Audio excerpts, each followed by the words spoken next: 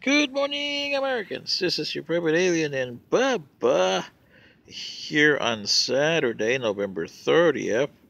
Oh, it's rivalry weekend in football, huh? The Iron Bowl, Alabama, Auburn, Michigan, Ohio State, Florida, Florida State. Oh, the good guys, huh? Uh, oh, Georgia, Georgia Tech. Don't forget that. Uh, anyway, uh, wanted to continue the video that I started this morning on Tulsi Gabbard. Uh, and I want to throw this out there. I know a lot of you don't listen to me. I only got eight subscribers. But to me, uh, to rescue the Democratic Party, and I'm not a Democrat, I'm not a Republican, I'm neither pro nor con of each of you guys. Uh, you know that every time I say Democrat, uh, it's like having jalapenos, you know. I mean, it, uh, my throat gets sore and warm and something about you Democrats. But anyway, to save your party, the best ticket that I could come up with is Tulsi, uh, Tulsi Gabbard and Caroline Kennedy. Yeah, I know, and you guys are going to say, "What? Who? Who? What? What? What?" what? But stand back and look at it. Tulsi Gabbard's a congresswoman, unknown, yes. But Sunday, uh, Jimmy Who was unknown, right? I mean, she can't be as bad as Jimmy Who or as bad as Trump. I mean, she seems to have some head on the shoulders that neither Jimmy Carter nor Trump, when they were at the same time they were president, seemed to have. And then you got Caroline Kennedy. She doesn't have the excess baggage of her family, not like her brothers and cousins and uncles had. And she's done uh, not quite political stuff, but she was ambassador of Japan, and she did a good job there. I mean, uh, the relationship that she forged with the outgoing and the new emperor Akihito, and now that his son is the emperor, and the prime minister of Japan.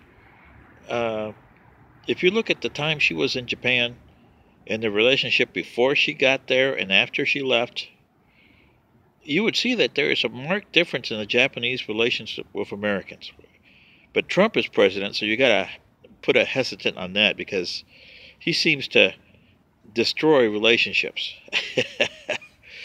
anyway, but you see what I mean? If, if you have a formidable uh, Tulsi Gabbard, Caroline Kennedy, you can go over the 48%, maybe 49, 50.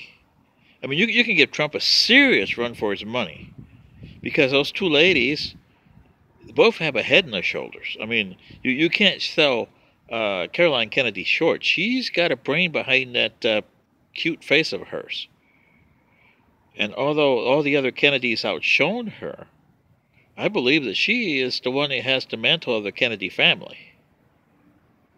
So, you know, if you put Tulsi Gabbard and her as your two candidates for president and vice president in 2020, not even the deplorables can save Trump.